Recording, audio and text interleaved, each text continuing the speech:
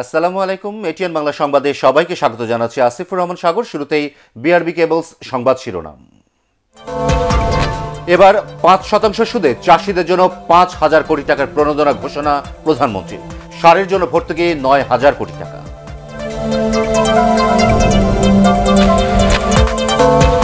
দেশে করোনা ভাইরাসে আরও চারজনের মৃত্যু, নতুন করে আক্রান্ত একশো উনচল্লিশ জন, জানালো আইইডিসিআর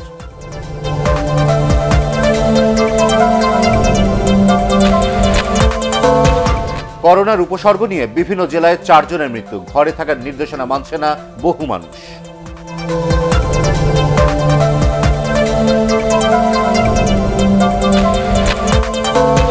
করোনা পরিস্থিতির মধ্যেও দেশের বিভিন্ন স্থানে চলছে সরকারি চাল চুরির মহোৎসব। আটক দশ জন।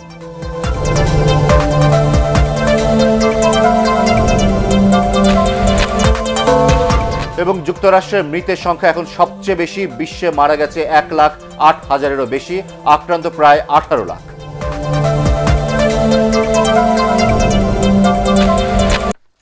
এবারে বিস্তারিত। করোনা পরিস্থিতির ক্ষতি মোকাবেলায় ক্ষুদ্র মাঝারি চাষিদের জন্য পাঁচ শতাংশ সুদে পাঁচ হাজার কোটি টাকার প্রণোদনা প্যাকেজ ঘোষণা করেছেন প্রধানমন্ত্রী শেখ হাসিনা। সারের জন্য সরকার ভর্তুকি দেবে নয় হাজার কোটি টাকা। বরিশাল ও খুলনা বিভাগের বিভিন্ন জেলার কর্মকর্তাদের সাথে গণভবন থেকে ভিডিও কনফারেন্সে এসব কথা বলেন প্রধানমন্ত্রী। ত্রাণ কার্যক্রমে দুর্নীতি হলে কঠোর ব্যবস্থা নিয়ে আরও হুঁশিয়ারি দেন তিনি।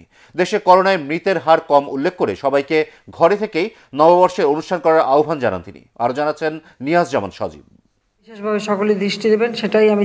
করোনা পরিস্থিতি মোকাবেলায় সরকারের নেয়া পদক্ষেপ কতটা বাস্তবায়িত হচ্ছে, তা নিয়মিত তদারকি করছেন প্রধানমন্ত্রী শেখ হাসিনা। তারই অংশ হিসেবে বরিশাল ও খুলনা বিভাগের বিভিন্ন জেলার কর্মকর্তাদের সাথে রোববার ভিডিও কনফারেন্সে কথা বলেন প্রধানমন্ত্রী। করোনা ভাইরাসের প্রাদুর্ভাবের কারণে সারা দেশ প্রায় স্থবির হয়ে পড়েছে। উল্লেখ করে তিনি কৃষিখাতের সুবিধার জন্য বিশেষ প্রণোদনা প্যাকেজ ঘোষণা করেন। গ্রামাঞ্চলের ক্ষুদ্র ও মাঝারি চাষিরা এই সুবিধা নিতে পারবেন। কিছুদিনের মধ্যে যেহেতু বড় ধান উঠবে আর কৃষক যেন এই ফসলের ন্যায্য দাম পায়, সেদিকে আমরা লক্ষ্য রেখে খাদ্য মন্ত্রণালয় গত বছরে যে খাদ্য সংগ্রহ করেছিল তার থেকে বেশি, অর্থাৎ আরও বেশি ধান, চাল ক্রয় করবে। ধান কাটা মারাই কাজে যান্ত্রিকীকরণের জন্য সব দুইশো কোটি টাকা এখানে আমরা বরাদ্দ দেব। আর ক্ষতিগ্রস্ত কৃষকদের মাঝে বীজ চারা বিতরণের জন্য একশো পঞ্চাশ কোটি টাকা বরাদ্দ দেওয়া হবে। সারের ভর্তুকি বাবদ আগামী অর্থ বছরের জন্য নয় হাজার কোটি টাকা ভর্তুকি দেওয়া হবে যাতে আমার কৃষি উৎপাদন কোনো মতে ব্যাহত না হয়। এখানে শুধু কৃষি খাতেই আমরা একটা পাঁচ হাজার কোটি টাকার একটা প্রণোদনা ফান্ড আমরা তৈরি করব। যাতে এই স্কিমের গ্রাহক পর্যায়ে সুদের হার হবে সর্বোচ্চ মাত্র পাঁচ পার্সেন্ট পণ্য পরিবহন ও কৃষিকাজ স্বাভাবিক রাখতে সরকার থেকে সহায়তা দেওয়ার কথাও বলেন প্রধানমন্ত্রী। তরি তরকারি উৎপাদন হচ্ছে দুধ উৎপাদন হচ্ছে বা খাদ্য শস্য উৎপাদন হচ্ছে সেগুলি এক জায়গা থেকে আরেক জায়গায় চলাচল করা অথবা ধান কাটা শুরু হচ্ছে। যারা ধান কাটতে যান তাদেরকে যে যেখানে ধান কাটতে যাবেন তাদেরকে সেখানে গন্তব্যে পৌঁছে দেওয়া। ইতিমধ্যে আমরা প্রশাসন এবং পুলিশকে নির্দেশ দেওয়া হয়ে গেছে যে তারা তাদেরকে যথাযথ জায়গায় যাওয়ার ব্যবস্থা করে দেবেন। এবারের বাংলা নববর্ষ ঘরে বসে উদযাপন করতে সবার প্রতি আহ্বান জানিয়ে প্রধানমন্ত্রী বলেন ঘরে থেকে নিজের পরিবারকে সুরক্ষিত রাখতে হবে। অনেক অনেকে কথা শুনতে চান না না শুনেই তারা মানুষের সাথে মিশেন যার ফলে এটা সংক্রমিত হয় এবং এখন অনেকগুলি জেলায়ও কিন্তু এটা সংক্রমিত হয়েছে। কাজে এটা যাতে আর না বাড়ে তার জন্য ব্যবস্থা নিতে হবে। ক্ষতিগ্রস্ত সব শ্রেণি পেশার মানুষকে সহায়তা দেবে সরকার। সবাইকে ঠিকমতো সরকারি সহায়তা পৌঁছে দেওয়ার নির্দেশনা আবারও দেন প্রধানমন্ত্রী। যে খাদ্য শস্য দেওয়া হয়েছে চাল দেওয়া হয়েছে সেখান থেকে যারা মানে দুর্নীতি করার চেষ্টা করেছেন এবং কিছু ধরা পড়েছেন আমি আশা করি কেউ যদি এরকম করে, সবাই ধরা পড়বেন। কিন্তু তাতে কিন্তু কোনো ক্ষমা নেই। যদি প্রয়োজন হয়, সেখানে মোবাইল কোর্ট বসিয়ে তাৎক্ষণিকভাবে তাদেরকে শাস্তি দেওয়া হবে, বিচার পরে দেখা যাবে। কারণ প্রত্যেকে এটা একটা নিজের একটা আন্তরিকতা থাকতে হবে। আর করে আমরা যারা রাজনীতি করি আমাদের তো আরও বেশি দায়িত্ববোধ থাকতে হবে। যারা সরকারি চাকরি বা সরকারি বেতন পাচ্ছেন জনগণের ট্যাক্সের টাকায়। কিছু প্রত্যেকেই আজকে কাজ করতে হবে। সতেরোই এপ্রিল ঐতিহাসিক মুজিবনগর দিবসে বাইরের জেলার কেউ মেহেরপুরে যেতে পারবে না বলে জানান প্রধানমন্ত্রী। নিয়াজ জামান সজীব এটিএন বাংলা যেটুকু বাগান দেশে আরও চারজন করোনা ভাইরাসে আক্রান্ত হয়ে মারা গেছেন। এ নিয়ে মৃতের সংখ্যা এখন চৌত্রিশ। গত চব্বিশ ঘন্টায় নতুন করে সংক্রমণ ধরা পড়েছে একশো উনচল্লিশ জনের দেহে। এছাড়াও আরও তিনজন করোনা ভাইরাস আক্রান্ত রোগী সুস্থ হয়ে বাড়ি ফিরে গেছেন। রোগতত্ত্ব, রোগ নিয়ন্ত্রণ ও গবেষণা ইনস্টিটিউট আইইডিসিআর অনলাইন বুলেটিনে এসব তথ্য জানানো হয়। রাসনা দাসের রিপোর্ট। শনিবার দুপুর থেকে রবিবার দুপুর পর্যন্ত চব্বিশ ঘন্টায় দেশে এক হাজার দুইশো একান্ন জনের নমুনা পরীক্ষায় একশো উনচল্লিশ জনের শরীরে করোনা ভাইরাসের উপস্থিতি নিশ্চিত করেছে আইইডিসিআর। সংস্থাটির নিয়মিত অনলাইন স্বাস্থ্য বুলেটিনে জানানো হয়, নতুন আক্রান্তদের মধ্যে সবচেয়ে বেশি শতকরা পঁচিশ ভাগ একত্রিশ থেকে চল্লিশ বছর বয়সীদের মধ্যে। তারপরই একুশ থেকে তিরিশ বছর বয়সীদের শতকরা একুশ ভাগ হলেও ঝুঁকি রয়েছে সব বয়সীদের। মৃতদের মধ্যে তিরিশ থেকে চল্লিশ বছরের দুইজন, ষাট বছর বয়সী একজন এবং সত্তরের উপরে একজন। একশো উনচল্লিশ জনের সংক্রমণ পাওয়া গিয়েছে। তাদের বয়স ভিত্তিক বিভাজনে দেখা যায়, সর্বোচ্চ সংখ্যায় রয়েছে একত্রিশ থেকে চল্লিশ বছর বয়সের মধ্যে। যদিও আমরা একটা বয়স ভিত্তিক বিভাজন দেখাচ্ছি, কিন্তু এক্ষেত্রে খেয়াল রাখতে হবে যে কোনো বয়সের যে কোনো ব্যক্তি কিন্তু সংক্রমিত হতে পারেন। ঝুঁকি রয়েছে। সুতরাং এই সমস্ত ক্ষেত্রে প্রতিরোধের বিষয়ে বয়স সীমা নেই। এছাড়াও নতুন করে তিনটি জেলায় করোনা ভাইরাসে আক্রান্ত রোগী পাওয়া গেছে। তারা ঢাকা এবং নারায়ণগঞ্জ থেকে যাওয়া আক্রান্তদের সংস্পর্শে এসেছিলেন। জেলা ভিত্তিক বিশ্লেষণে দেখা যায় সর্বোচ্চ সংখ্যায় ঢাকা শহরে রয়েছে বাষট্টি জন এবং ঢাকা শহরের বাইরে অন্যান্য এলাকায় এর পরবর্তী অবস্থান। আর নতুন সংযোজিত জেলা লক্ষ্মীপুর লালমনিরহাট ঠাকুরগাঁ এবং ঝালকাঠি। স্বাস্থ্য অধিদপ্তরের অতিরিক্ত মহাপরিচালক জানান করোনা ভাইরাসে আক্রান্ত গর্ভবতী মায়ের নবজাতক এই ভাইরাসে আক্রান্ত হয় না। তাছাড়া জীবন্ত ও মৃত পশু পাখি স্পর্শ করলে ভালোভাবে হাত ধোয়ার পরামর্শও দেন তিনি। পর্যন্ত কোনো প্রমাণ পাওয়া যায়নি যে গর্ভবতী মায়ের যে সন্তান আহ, তার জরায়ুতে আছে তার মধ্যে কোনো ইনফেকশন ছড়ায়। এখন পর্যন্ত কোনো প্রমাণ পাওয়া যায়নি এবং বুকের দুধ দিয়ে ছড়ায় এমন কোনো প্রমাণ পাওয়া যায়নি। কিন্তু নিউবর্ন বেবি মানে একদম ছোট বাচ্চা জন্ম গ্রহণ করেছে, এর মধ্যে পাওয়া গেছে। সেটার পিছনে কারণ হতে পারে, মা হয়তো প্রপার প্রোটেকশন না নিয়ে বাচ্চাকে ধরেছেন অথবা বাচ্চাকে বুকে দুধ খাইয়েছেন সেই ক্ষেত্রে এটা হয়েছে। গত চব্বিশ ঘন্টায় সুস্থ হয়েছেন তিনজন। এ নিয়ে সুস্থ হল উনচল্লিশ জন। সুস্থদের মধ্যে একজন চিকিৎসক। এক রোগীকে চিকিৎসা দিতে গিয়ে তিনি আক্রান্ত হয়েছিলেন। রাসনা দাস, এটিএন বাংলা, ঢাকা। নারায়ণগঞ্জে উদ্বেগজনকভাবে বাড়ছে করোনা ভাইরাসে আক্রান্তের সংখ্যা। এ পর্যন্ত এই ভাইরাসে মৃত্যু হয়েছে দশ জনের। করোনা পজিটিভ পাওয়া গেছে পঁচাশি জনের শরীরে। এছাড়া করোনায় আক্রান্ত হয় জেলা সিভিল সার্জন মোহাম্মদ ইমতিয়াজকে প্রত্যাহার করে চৌধুরী ইকবাল বাহারকে দায়িত্ব দেওয়া হয়েছে। এদিকে লকডাউন অমান্য করে নারায়ণগঞ্জ থেকে লোকজন বিভিন্ন স্থানে পালিয়ে যাওয়ায় আরও কঠোর হয়েছে সেনাবাহিনী, র্যাব ও পুলিশ। আর কেউ যাতে এখান থেকে বাইরে যেতে না পারে, সেজন্য নৌ ও সড়ক পথে চেকপোস্ট বসানো হয়েছে। অন্যদিকে বেতন ভাতা শ্রমিক ছাঁটাইয়ের প্রতিবাদে শহরে বিক্ষোভ করেছেন কয়েকটি গার্মেন্টসের শ্রমিকরা।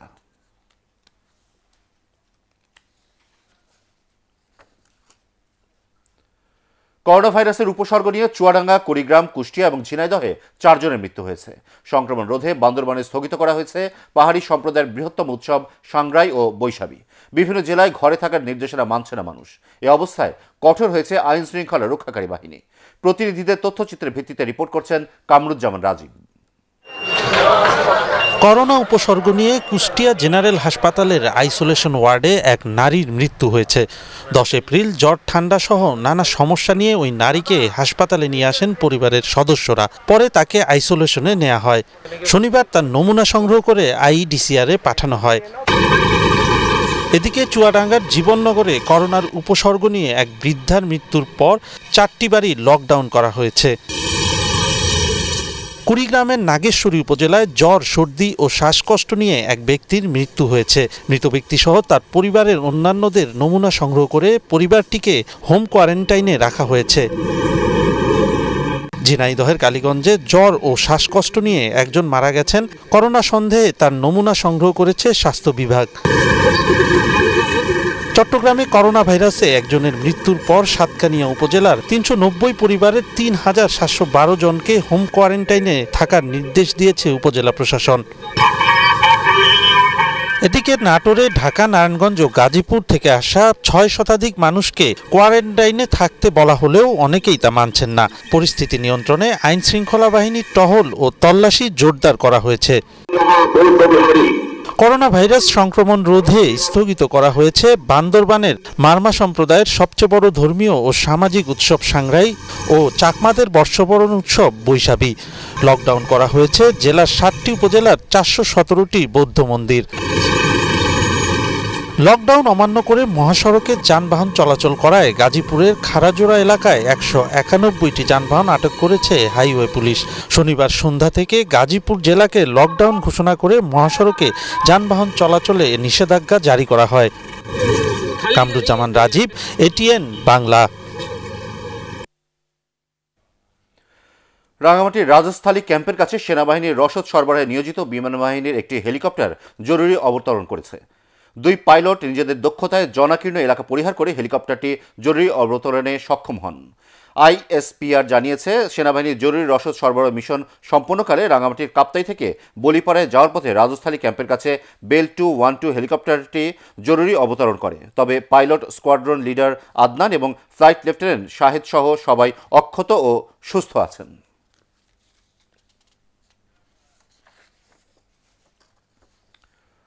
করোনা মহামারী পরিস্থিতিতেও রাজধানীর যাত্রাবাড়ি ও ড্যামরার বেশ কিছু এলাকার মানুষ সরকারি নির্দেশনা মানতে নারাজ। প্রশাসন বলছে সর্বোচ্চ চেষ্টা করা হচ্ছে, তারপরও সচেতন হচ্ছে না তারা। রিপোর্ট করছেন মনির হোসেন তপু। এই ছবিগুলো রোববার সকালে যাত্রাবাড়ি ও ডেমরা এলাকা থেকে তোলা। করোনার বিস্তার বন্ধে একদমই সচেতন না এই এলাকার বাসিন্দারা। সরকারি নির্দেশনা অমান্য করে এখনও খোলা রয়েছে চায়ের দোকান জুতোর দোকান হার্ডওয়্যারের দোকান সহ বেশ কিছু প্রতিষ্ঠান। বাসায় চলে যান। নিজে সুস্থ থাকুন। ফ্যামিলিকে সুস্থ রাখুন। আইনশৃঙ্খলা বাহিনীর উপস্থিতি হলেই সবকিছু বন্ধ হয়ে যায়। তারা চলে যাওয়া মাত্রই আবার খোলা হয় দোকানের শাটার। সেনাবাহিনীর পক্ষ থেকে লাগাতার টহল ও জিজ্ঞাসাবাদ করার পরও এই পরিস্থিতি নিয়ন্ত্রণ করা সম্ভব হচ্ছে না। আমাদের জিজ্ঞাসাবাদ বা যেই সচেতনমূলক টহল আছে, সেটা করার সময় দেখা যায় জনগণ সচেতন হচ্ছেন। বাট আমরা অনেক ক্ষেত্রেই দেখতে পাচ্ছি যে আমরা আসলে এলাকাটা ত্যাগ করলে তাদের মধ্যে আবার অসচেতনমূলক আচরণগুলো চলে আসছে এবং তারা মানে কি বলব মানে নির্দিষ্ট কোনো কারণ ব্যতীত ঘোরাফেরা করছেন তাদের এলাকায়। এই এলাকাটা নিম্নবিত্ত এবং নিম্ন মধ্যবিত্ত জনগণের সমাগম বেশি এবং এখানে এলাকাটা ঘনবসতিপূর্ণ। সেই কারণে আমার মনে হয় যে এই কাজগুলো বেশি হচ্ছে আসলে এখানে। আজও মহানগরী জুড়ে সতর্ক অবস্থানে ছিল আইনশৃঙ্খলা বাহিনী। করোনা মোকাবেলায় মানুষকে সচেতন করতে সর্বোচ্চ চেষ্টা করা হচ্ছে, তাই নিজ উদ্যোগে সবাইকে এগিয়ে আসা উচিত বলে জানান পুলিশের কর্মকর্তারা। পুলিশকে ফাঁকি দিচ্ছে বা সরকারকে ফাঁকি দিচ্ছে, এটা আসলে সে মূলত নিজেকেই ফাঁকি দিচ্ছে। কারণ এই যে যে করোনা ভাইরাসের যে প্রাদুর্ভাব বা যে বৈশ্বিক যে চ্যালেঞ্জ এটাকে কিন্তু মোকাবেলা করতে হবে ব্যক্তিকে, নিজেকে। বেশিরভাগ ক্ষেত্রে আমরা মানুষকে বুঝিয়ে তাদের ঘরে রাখার চেষ্টা করছি। আমাদের প্রতি এরকমও নির্দেশ আছে যে যে ক্ষেত্রে মানুষ বুঝতে চায় না, সেক্ষেত্রে আমাদের বল প্রয়োগেরও আমাদের অনুমতি দেওয়া হয়েছে। কিন্তু আমরা এই এনফোর্সমেন্ট বা শক্তি প্রয়োগের দিকে আমরা যাইতে চাই না। নগরীর সর্বত্র সচেতনতা বাড়াতে হবে বলে মনে করছেন তারা। মনির হোসেন তপু এটিএন বাংলা ঢাকা। ঠাকুরগাঁয়ের লকডাউনের মধ্যেও মাইক্রোবাস ট্রাক মুখোমুখি সংঘর্ষে আহত হয়েছে অন্তত ছয়জন। সকালে ঠাকুরগাঁও ঢাকা মহাসড়কের খোঁচাবাড়ি স্থানে এই দুর্ঘটনা ঘটে। আহত ছয়জনকে ঠাকুরগাঁও আধুনিক সদর হাসপাতালে ভর্তি করা হয়েছে। নারায়ণগঞ্জ থেকে চোদ্দ জনকে নিয়ে দুটি মাইক্রোবাস ঠাকুরগাঁয়ে আসছিল। পথে একটি মাইক্রোবাসের সাথে একটি ট্রাকের সংঘর্ষ হয়। আহতদের সবাই সর্দি ও জ্বরে আক্রান্ত বলে জানিয়েছেন চিকিৎসকরা।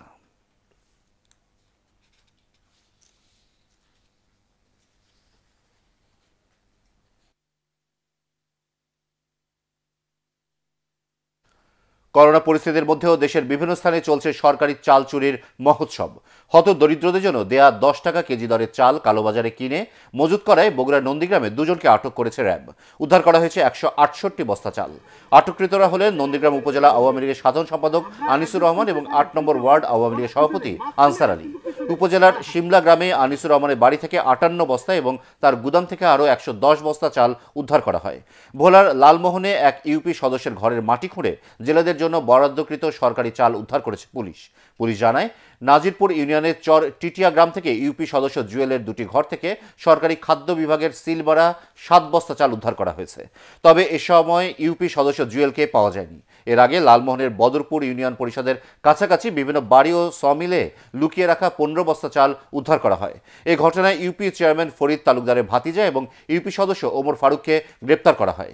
ব্রাহ্মণবাড়িয়ার রাশিগঞ্জে দুস্থ, অসহায় ও গরিব মহিলাদের জন্য দেয়া নয়শো কেজি চালসহ পাঁচজনকে আটক করেছে পুলিশ। প্রত্যক্ষদর্শীরা জানান, আড়াইশিদা ইউনিয়ন পরিষদ থেকে একশো একচল্লিশটি দুস্থ পরিবারের মধ্যে চার হাজার দুশো ত্রিশ কেজি চাল বিনামূল্যে বিতরণ করা হয়। এরপর তা কম দামে কিনে নেন আড়াইশিদা ভবানীপুর এলাকার শাহজাহান, শাহাবুদ্দিন এবং মোশারফ মিয়া। জানা গেছে, ওই চাল স্থানীয় আর এন অটো রাইস মিলের মালিক নাজমুল হকের কাছে পাঠানোর জন্য মজুত করছিলেন তারা। খবর পেয়ে স্থানীয় একটি গরুর খামারে অভিযান চালান উপজেলার নির্বাহী কর্মকর্তা নাজিমুল হায়দার। সেখান থেকে এগারো বস্তা চাল উদ্ধার করা হয়, আটক করা হয় চারজনকে। পরে আলমনগরে অভিযান চালিয়ে R N auto rice mill থেকে উদ্ধার করা হয়, আরও তিনশো কেজি চাল। এ সময় চাতাল মালিক নাজমুল হককেও আটক করা হয়। চাঁপাইনবাবগঞ্জের মহারাজপুরে দুশো ছাব্বিশ বস্তা সরকারি চালসহ দুজনকে আটক করেছে জেলা গোয়েন্দা পুলিশ। জোড়া বকুলতলা গ্রামে প্রবাসী মন্টু মাস্তারের বাড়ি থেকে অভিযান চালিয়ে এসব চাল উদ্ধার করা হয়। এ সময় সরকারি চালের বস্তা পরিবর্তন করা হচ্ছিল। সরকারি চাল মজুদ রাখার অভিযোগে গ্রেপ্তার দেখিয়ে দুজনের বিরুদ্ধে মামলা করার কথা জানিয়েছেন উপজেলা নির্বাহী কর্মকর্তা আলমগীর হোসেন। জামালপুরের মুকুন্দবাড়ি এলাকায় ট্রাক আটকে পৌরসভার ত্রাণ লুট করার ঘটনা ঘটেছে। পৌরসভার দুই, চার এবং ছয় নম্বর ওয়ার্ডের জন্য দশ কেজি করে চাল ও তিন কেজি করে আলুর ছয়শো প্যাকেট নিয়ে ট্রাকটি শহরের বানিয়া বাজারে যাচ্ছিল। এর মধ্যে চারশো প্যাকেট ত্রাণ সামগ্রী লুট করা হয়। দুর্বৃত্তরা মুকুন্দবাড়ি, পালপাড়া ও বজ্রাপুর এলাকার কর্মহীন মানুষ বলে দাবি করা হচ্ছে। তবে ত্রাণ সামগ্রী লুটের কথা অস্বীকার করেন পৌর মেয়র মির্জা শাখাওয়াতুল আলম মনি।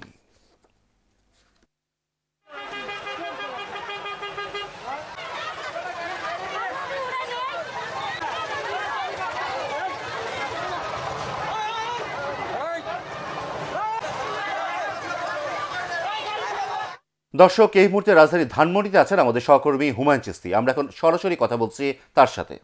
চিস্তি, আপনি তো নগরীর বিভিন্ন এলাকা ঘুরছেন, আপনি কেমন দেখছেন নগরীর পরিস্থিতি?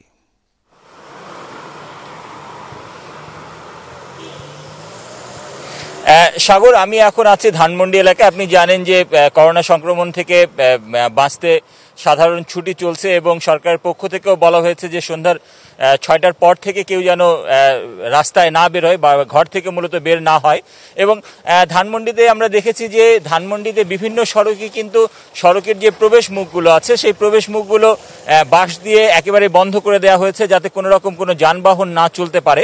এবং আমরা দেখেছি যে মানুষ কিন্তু একেবারেই প্রয়োজন ছাড়া এই ঘর থেকে বের হচ্ছেন না। তবে কিছু আমরা দেখেছি যে সড়কে কিন্তু রিক্সা চলছে। বেশ কিছু রিক্সা চলছে এবং বেশ কিছু মানুষকে আমরা সড়কে দেখেছি যারা একেবারেই হতদরিদ্র এবং আমরা তাদের সাথে কথা বলেছি যে এই যে সরকারি নির্দেশনার পরেও তারা কেন সড়কে অবস্থান করছেন? তো হতদরিদ্র যে মানুষগুলো, সেই মানুষগুলো আমাদেরকে জানিয়েছেন যে তারা আসলে নিতান্তই পেটের দায়ে আসলে তারা রাস্তায় এসেছেন এবং তারা বলেছেন যে যেহেতু তাদের কোনো কাজ নেই এবং সরকারি যে ত্রাণ সেই ত্রাণ তারা পাননি। এর ফলে সেই ত্রাণের আশাতেই তারা কিন্তু মূল সড়কে অবস্থান করছেন যে কোনোভাবে যদি সেই ত্রাণের সামগ্রী তারা পান এবং তাদের পরিবারের যে মানুষগুলো অভুক্ত আছে, সেই অভুক্ত মানুষগুলোর খাবারের সংস্থান যদি হয়। এবং একই সাথে আমরা কথা বলেছিলাম যে রিক্সা চালকগুলো যারা এখনও রাস্তায় ঘুরছেন, তাদেরকে আমরা জিজ্ঞাসা করেছিলাম যে আপনাদের আসলে কেন আপনারা অবস্থান করছেন? তো তারাও সে একই কথা বলেছেন যে আসলে একেবারে পেটের দায়ে কোনো কিছু করতে না পেরেই তারা এখনও রাস্তায় রিক্সা চালাচ্ছেন। তারপর আমরা দেখেছি যে কিছু উৎসুক মানুষ যারা অহেতুক আসলে কৌতূহলের বসেই রাস্তায় অবস্থান করছেন এবং তাদের মাধ্যমে আসলে সংক্রমণটা ছড়িয়ে যাওয়ার সম্ভাবনা বেশি, এমনটাই বলছেন আইন শৃঙ্খলা রক্ষাকারীর বাহিনী সদস্যরা। আমরা তাদের সাথে কথা বলেছিলাম। তারা আমাদেরকে জানিয়েছেন যে যারা রাস্তায় বের হচ্ছেন, নিতান্ত প্রয়োজন প্রয়োজনে বেরোচ্ছেন বা কৌতূহল বশত যারা বের হচ্ছেন, তাদেরকে মূলত তারা বুঝিয়ে শুনিয়ে ঘরে পাঠানোর চেষ্টা করছেন এবং তারা চাচ্ছেন যে আসলে কোনো রকম কঠোরতা প্রদর্শন ছাড়াই যেন মানুষকে ঘরে রাখা যায়, এরকম চেষ্টাই তারা করছেন এবং আমরা বিভিন্ন এলাকায় এই বিকেল থেকে আসলে ঘুরে বেরিয়েছি এবং প্রত্যেক এলাকাতেই দেখেছি যে মানুষ আসলে তেমনভাবে একেবারেই নিম্নবিত্ত এবং ইয়া ছাড়া যারা, যাদের আসলে পেটের দায়ে তারা একটা ত্রাণের খোঁজে তারা হয়তো বা রাস্তায় থাকছেন, তাছাড়া অন্যান্য সাধারণ মানুষজন কিন্তু তেমন রাস্তায় বের হচ্ছেন না এবং রাস্তায় বের না হওয়ার যে সরকারি নির্দেশনা, সেটা কিন্তু তারা মেনে চলছেন। সাগর। আপনাকে ধন্যবাদ। ইতালিকেও পেছনে ফেলে যুক্তরাষ্ট্রে করোনা ভাইরাসের মৃতের সংখ্যা এখন বিশ্বের সর্বোচ্চ বিশ হাজার। চব্বিশ ঘন্টায় মারা গেছে দুই হাজারেরও বেশি মানুষ। জন হপকিন্স ইউনিভার্সিটির তথ্য বলছে, সারা বিশ্বে ভাইরাসে আক্রান্তের সংখ্যা ছাড়িয়ে গেছে সতেরো লাখ সাতাত্তর হাজার। আর প্রাণ হারিয়েছেন এক লাখ আট হাজারেরও বেশি মানুষ। এর মধ্যেই লকডাউন শিথিল করা হয়েছে চেক প্রজাতন্ত্র, ডেনমার্ক ও অস্ট্রিয়া সহ ইউরোপের কয়েকটি দেশে। তবে বিশ্ব স্বাস্থ্য সংস্থা হুঁশিয়ার করে জানিয়েছে, আগে লকডাউন তুলে নিলে চড়া মূল্য দিতে হবে মানুষকে। করোনা ভাইরাস মহামারীতে ফ্রান্সের মৃতের সংখ্যা কমতে শুরু করেছে। তারপরও লকডাউনে কড়াকড়ি আরোপ করেছে দেশটির সরকার। প্যারিস থেকে সেখানকার সার্বিক অবস্থা জানাচ্ছেন আমাদের ফ্রান্স প্রতিনিধি দেবেশ বড়ুয়া। এখানে এখন দ্বিতীয় দফা লকডাউন চলছে, যা আগামী পনেরোই এপ্রিল শেষ হবে। তবে লকডাউনের মেয়াদ আরও বাড়ানোর পরিকল্পনার কথা জানিয়েছেন সরকারের নীতি নির্ধারকেরা। ফ্রান্সের প্রেসিডেন্ট ম্যানুয়াল ম্যাক্রন আগামীকাল সোমবার স্থানীয় সময় রাত আটটায় জাতির উদ্দেশ্যে ভাষণ দেওয়ার কথা রয়েছে। এই ভাষণে হয়তো গুরুত্বপূর্ণ অনেক বিষয় থাকতে পারে বলে ধারণা করা হচ্ছে। এদিকে করোনা ভাইরাসে অনেক প্রবাসী বাংলাদেশিও আক্রান্ত হওয়ার খবর পাওয়া গেছে। এ নিয়ে প্রবাসীদের মধ্যে অনেক আতঙ্ক বিরাজ করছে।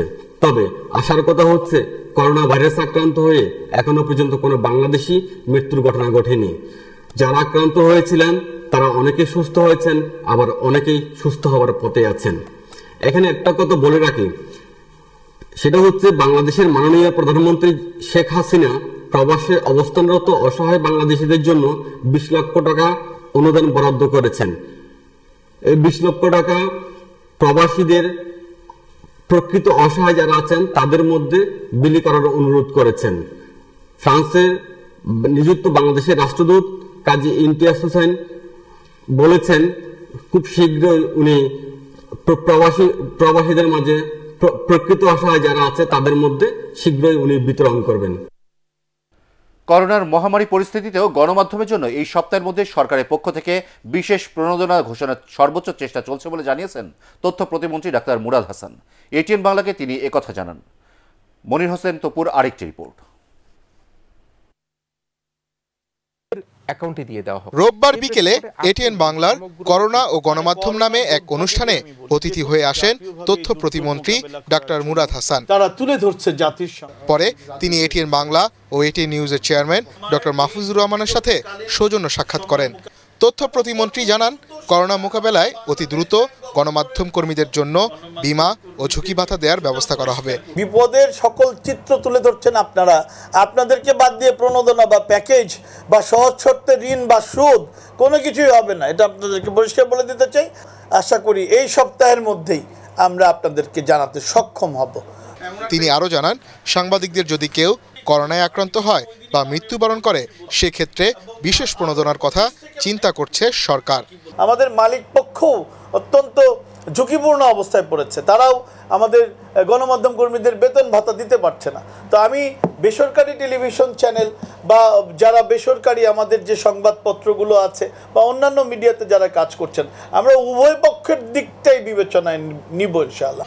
এ সময় অনুষ্ঠানটির সঞ্চালক হাসান আহমেদ চৌধুরী কিরণ বলেন দেশে এই পরিস্থিতিতে গণমাধ্যমের কর্মীরা ঝুঁকিতে আছেন। করোনা চ্যালেঞ্জ মোকাবেলা করবার জন্য সরকারের পক্ষ থেকে আমাদের শিল্প ব্যবসা বাণিজ্য কল কারখানা যাতে সব কিছুকে পূর্ণাঙ্গভাবে চালু রাখা যায় কৃষি খাতে কীভাবে পূর্ণাঙ্গভাবে উৎপাদন অব্যাহত রাখা যায়, নানা ধরনের প্যাকেজ এবং প্রণোদনা আসছে যেটি অব্যাহত রয়েছে, যাতে গণমাধ্যমের জন্য, গণমাধ্যমের যে কর্মীরা দিন রাত চব্বিশ ঘণ্টা কাজ করছে তাদের জন্য একটি বিমা হোক, ঝুঁকি ভাতা হোক, বিশেষ করে এই টেলিভিশন এবং পত্রপত্রিকাগুলো যাতে তাদের বেতন ভাতা দিয়ে প্রদান করতে পারে, সেজন্য এককালীন হোক বিনা সুদে হোক বা স্বল্প সুদে হোক, যাতে একটা প্যাকেজ প্রণোদনা ঘোষণা করা হয়, সেটি আজকের এই করোনা ও গণমাধ্যম নিয়ে অনুষ্ঠানের মাধ্যমে আমি সরকারের কাছে দাবি রাখছি। আলোচনায় আরও উপস্থিত ছিলেন সাংবাদিক নেতা ইকবাল সোভান চৌধুরী ও এটিএন বাংলার উপদেষ্টা, অনুষ্ঠান সমন্বয়ক ও সম্প্রচার তাশিক আহমেদ। মনির হোসেন তপু, এটিএন বাংলা, ঢাকা। বঙ্গবন্ধু খুনি আব্দুল মাজেদকে ফাঁসি কার্যকরের পর নারায়ণগঞ্জের সোনারগাঁও উপজেলার শম্ভুপুরা ইউনিয়নে তার শ্বশুর বাড়িতে দাফন করা হয়েছে।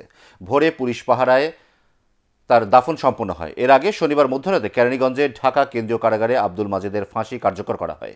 পরিবারের সদস্যদের কাছে লাশ হস্তান্তরের পর তার নিজ বাড়ি ভোলায় দাফন করতে চাইলে স্থানীয়দের বাধার মুখে তা সম্ভব হয়নি।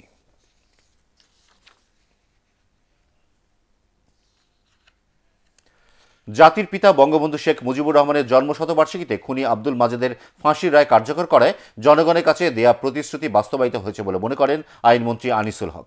দুই হাজার দশ সালের আঠাশ জানুয়ারি বঙ্গবন্ধু হত্যা মামলায় কারাবন্দী পাঁচ আসামির ফাঁসি কার্যকরের পর পলাতক আসামিদের ফিরিয়ে এনে রায় কার্যকর করাকে চ্যালেঞ্জ পূরণের একটি ধাপ হিসেবে দেখছেন আইনমন্ত্রী। আমরা জনগণকে প্রতিশ্রুতি দিয়েছিলাম যে বঙ্গবন্ধুর যারা খুনি তাদেরকে এনে এই রায় কার্যকর করব। আমাদের কাজ এখনও শেষ হয় নাই। আমরা ক্যাপ্টেন বরখাস্ত মাজেদের ফাঁসির কার্যকরের মাধ্যমে এই প্রতিশ্রুতির কিছুটা হতে পালন করেছি। আর যারা বাকি আছে, তাদেরকে ধরে এনে এই রায় কার্যকর করার পরেই আমাদের এই মামলার রায়ের বাস্তবায়ন সম্পন্ন হবে।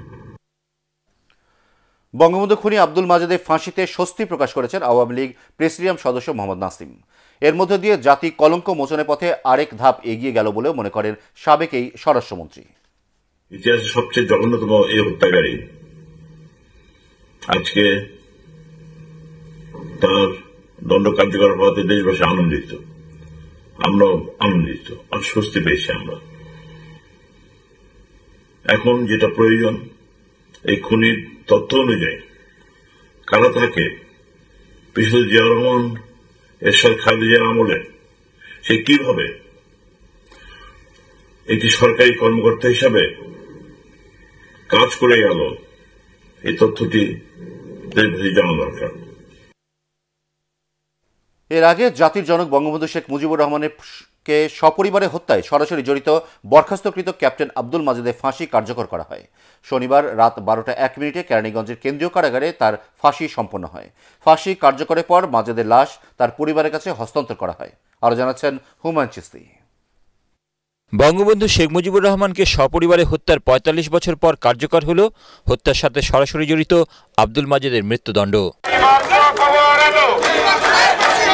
শনিবার রাত বারোটা এক মিনিটে ঢাকা কেন্দ্রীয় কারাগারে ফাঁসি কার্যকর করা হয়। ফাঁসির মঞ্চে নেয়ার আগে শেষ করা হয় সব আনুষ্ঠানিকতা।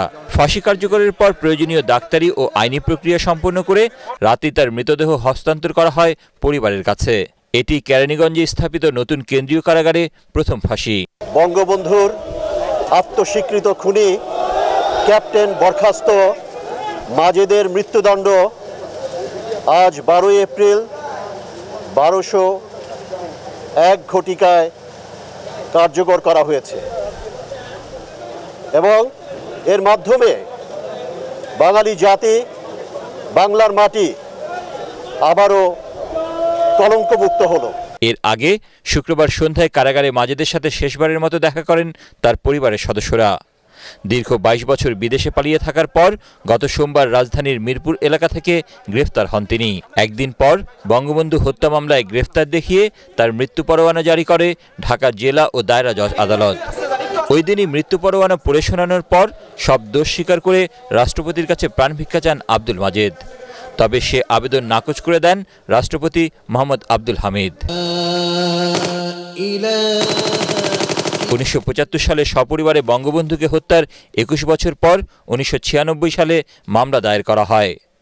দুই হাজার নয় সালের ১৯ নভেম্বর হত্যাকাণ্ডে অংশ নেওয়া বারো জনের মৃত্যুদণ্ড বহাল রেখে রায় দেয় দেশের সর্বোচ্চ আদালত।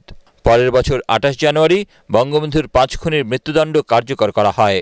আব্দুল মাজেদের ফাঁসি কার্যকরের পর এখনও বিভিন্ন দেশে পলাতক রয়েছে বঙ্গবন্ধুর আত্মস্বীকৃত পাঁচ খুনি।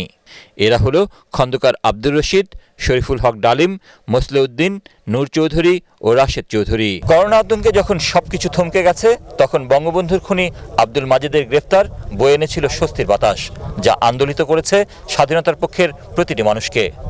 অনেকের মতে, বঙ্গবন্ধুর খুনির ফাঁসি কার্যকর, মুজিব বর্ষে রাষ্ট্রকে আইনশৃঙ্খলা রক্ষাকারী বাহিনীর দেয়া সেরা উপহার। সাফল্যের এই ধারাবাহিকতা বজায় রাখার মধ্য দিয়ে শোধ হবে বঙ্গবন্ধু ও তার স্বজনদের রক্তের ঋণ। মোচন হবে পনেরোই আগস্টের কলঙ্ক। হুমায়ুন চিস্তি এটিএন বাংলা ঢাকা। সময় মতো কার্যকর পদক্ষেপ না নেওয়ায় কমিউনিটি পর্যায়ে করোনা ভাইরাস ছড়িয়ে পড়ছে বলে অভিযোগ করেছে বিএনপি। নয়াপল্টনে দলের কেন্দ্রীয় কার্যালয়ে অনলাইন ব্রিফিংয়ে বিএনপির সিনিয়র যুগ্ম মহাসচিব রুহুল কবির রিজভি এ অভিযোগ করেন। দুর্যোগ পরিস্থিতির মধ্যেও ত্রাণের চাল চুরি থেমে নেই দাবি করে অবিলম্বে এর বিরুদ্ধে ব্যবস্থা নেওয়ার দাবি জানান রুহুল কবির রিজভি। যেখানে জীবন এখন অনেক বেশি অনিশ্চিত। সেখানে কি করে?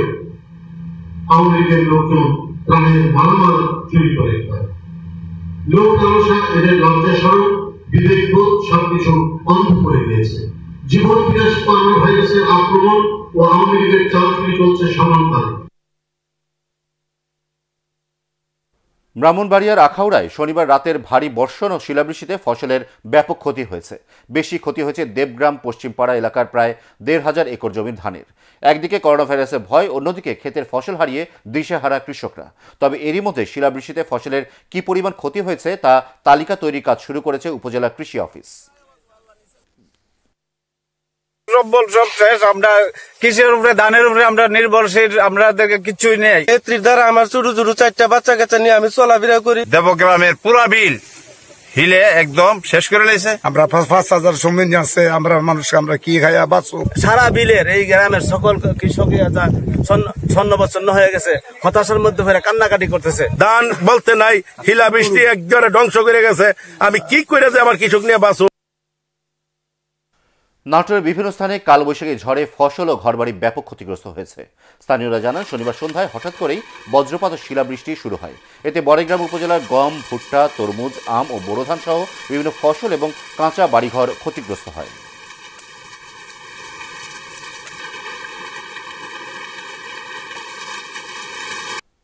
করোনার প্রভাব পড়েছে যশোরের সবজি বাজারের ওপর। এবছর সবজির আবাদ ভালো হলেও ক্রেতা ও পরিবহন সংকটের কারণে ভালো দাম পাচ্ছেন না কৃষকরা। এতে ব্যাপক ক্ষতিগ্রস্ত হচ্ছেন তারা। তবে এই ক্ষতি কাটিয়ে উঠতে কৃষক সহ এ খাতের জড়িতদের প্রণোদনার ব্যবস্থা করার আশ্বাস দিয়েছেন সদর উপজেলা কৃষি কর্মকর্তা। যশোর থেকে শাহনারা বেগমের রিপোর্ট জানাচ্ছেন বিপ্লব রায়।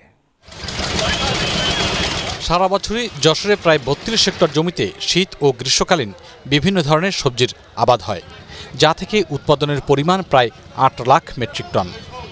স্থানীয় চাহিদা মিটিয়ে এসব সবজি ঢাকাসহ দেশের বিভিন্ন জেলায় সরবরাহ হয়ে থাকে। জেলার সবচেয়ে বেশি সবজি উৎপাদন হয় সদর উপজেলার চূড়ামন কাঠিতে এখানকার সাত মাইল বাজারে সপ্তাহে দুদিন সবজির হাটে বিভিন্ন জেলা থেকে সবজি কিনতে আসেন ব্যবসায়ীরা। কিন্তু করোনা ভাইরাসের প্রভাবে ধস নেমেছে সেই বাজারে। কৃষকরা বলছেন, বাজারের এ অবস্থা হওয়ায় ন্যায্য দাম পাচ্ছেন না তারা। এই করোনা ভাইরাসের জন্য সেভাবে বেচা বিক্রি নাই। হাটে পটল নিয়ে আসছি। এখন যে পটলের যে বাজার তাতে চাষি লসের লক্ষণ বেশিরভাগ। এতে আমাকে সার কীটনাশক দিয়ে এসবে পয়সা উঠবে না। এইভাবে যদি দাম কমে যায় তাহলে আমাদের তো চাষিরা ঘাটতিতে পড়ে যাব। স্থানীয় পাইকাররা বলছেন বাজারের এই অবস্থার কারণে তাদের ব্যবসাও ক্ষতিগ্রস্ত হচ্ছে। আমরা এখান থেকে যে মালগুলো পাঠাচ্ছি তো ওখানে ঢাকায় যে আমাদেরকে আরও কম দামে বেচতে হচ্ছে। কেজি পাঁচ টাকা ছয় টাকা লস হচ্ছে কৃষকদের এ ক্ষতি কাটিয়ে উঠতে প্রণোদনা দেওয়ার আশ্বাস দিয়েছে উপজেলা কৃষি বিভাগ। প্রণোদনা এটা আমরা আশা করছি যে আমরা কৃষক এবং এই কৃষি সংশ্লিষ্ট যে সমস্ত ক্ষুদ্র বিনিয়োগ করে আছে তারাও এখান থেকে পাবে। এবং মন্ত্রণালয় এবং আমাদের অধিদপ্তর এই বিষয়ে কাজ করতেছে। সবজি পরিবহন নির্বিঘ্ন করার পাশাপাশি প্রণোদনা দেওয়ার আশ্বাস দ্রুত কার্যকর করার দাবি কৃষকদের। Bureau report, ATN Bangla. এবার আন্তর্জাতিক সংবাদ।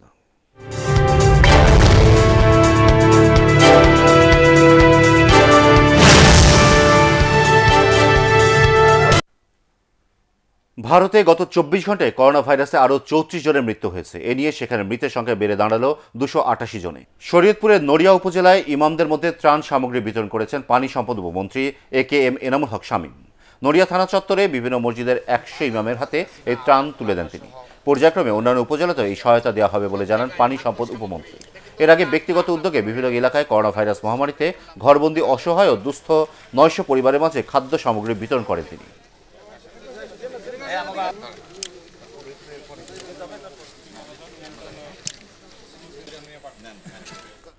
করোনা ভাইরাস পরিস্থিতির শিকার ঢাকা উত্তর সিটি কর্পোরেশনের সাড়ে তিন হাজার পরিবারের মধ্যে ত্রাণ সামগ্রী বিতরণ করেছেন তেপ্পান্ন নম্বর ওয়ার্ড কাউন্সিলর নাসির উদ্দিন। এসব ত্রাণ সামগ্রীর মধ্যে ছিল চাল, ডাল, তেল, পেঁয়াজ, আলু এবং সাবান।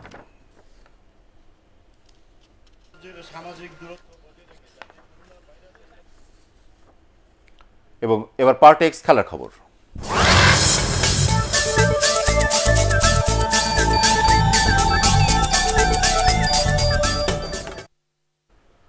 সব ধরনের ক্রিকেট থেকে অবসরের ঘোষণা দিয়েছেন জাতীয় দলের সাবেক পেসার মোহাম্মদ শরীফ। দু মৌসুমে ঘরোয়া ক্রিকেট দিয়ে ক্যারিয়ার শুরু হয় তার। মাত্র পনেরো বছর বয়সে আন্তর্জাতিক ক্রিকেটে ডাক পান দু হাজার এক সালের জিম্বাবুয়ে সফরে। বাংলাদেশে হয়ে দশ টেস্টে চোদ্দ এবং নয় ওয়ানডেতে দশ উইকেট শিকার করেন তিনি।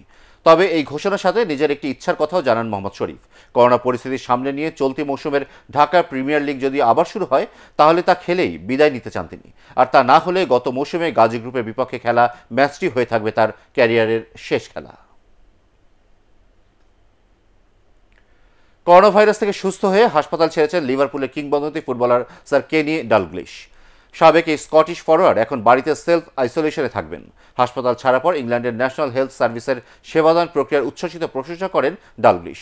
সানডে পোস্টে দেওয়া এক বিবৃতিতে তিনি বলেন, মানুষ হয়তো ভাবতে পারে তার নাম ডাকের কারণেই স্বাস্থ্যকর্মীরা সেরা সেবা দিয়েছেন। তবে ব্যাপারটা তেমন নয়। এনএইচএস প্রতিটি রোগীকেই এমন সেবা দিয়ে থাকে। জাতি হিসেবে তাদের পেয়ে গর্বিত আমরা। বুধবার গলস্টোনের রুটিন চিকিৎসার জন্য হাসপাতালে যাওয়ার পর কোভিড উনিশ পজিটিভ হিসেবে ধরা পড়েন এই ফুটবল কিংবদন্তি। শেষ করার আগে বিআরবি কেবলস সংবাদ শিরোনাম আরও একবার। এবার পাঁচ শতাংশ সুদে চাষিদের জন্য পাঁচ হাজার কোটি টাকার প্রণোদনা ঘোষণা প্রধানমন্ত্রীর। সারের জন্য ভর্তুকি নয় হাজার কোটি টাকা।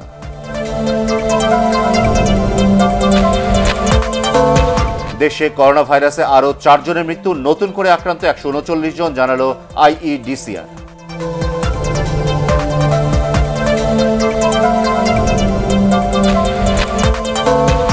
করোনার উপসর্গ নিয়ে বিভিন্ন জেলায় চারজনের মৃত্যু, ঘরে থাকার নির্দেশনা মানছে না বহু মানুষ।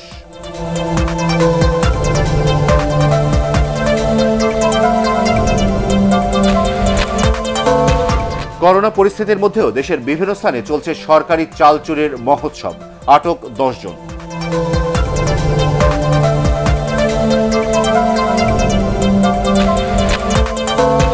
এবং যুক্তরাষ্ট্রে মৃতের সংখ্যা এখন সবচেয়ে বেশি। বিশ্বে মারা গেছে এক লাখ আট হাজারেরও বেশি। আক্রান্ত প্রায় আঠারো লাখ।